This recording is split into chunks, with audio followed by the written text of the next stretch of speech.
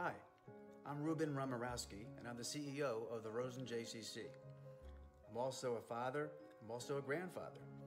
But in that role of CEO, I want to say to you that we are excited about our decision with great research and with great responsibility to launch our registration for our youth summer program as well as our ECLC program, which you know so well.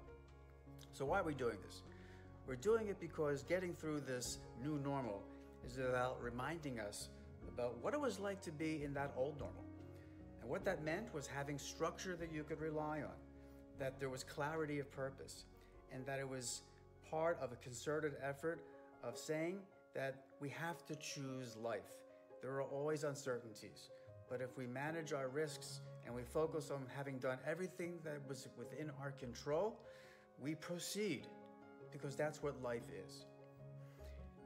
So I want to say that what is different in this new normal is that our summer youth program will not be the traditional camp because we don't have access to all the traditional things that you would expect water options and the theme parks and public spaces, uh, buses, etc. But we will have specialties within our programs, and your children will be um, engaged and enjoy having a wonderful time in a, in a structure that gives you the knowledge of knowing that you can also take care of your adult responsibilities. But most importantly, I believe that in investing in us, in re- registering your children, I believe we're actually giving you a gift.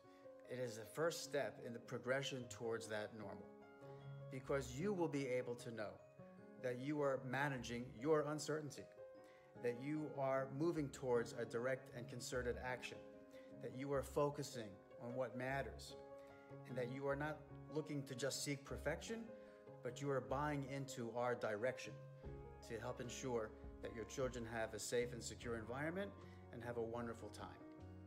So join us in that opportunity to move forward as a community and to be part of our next chapter at the Rosen JCC.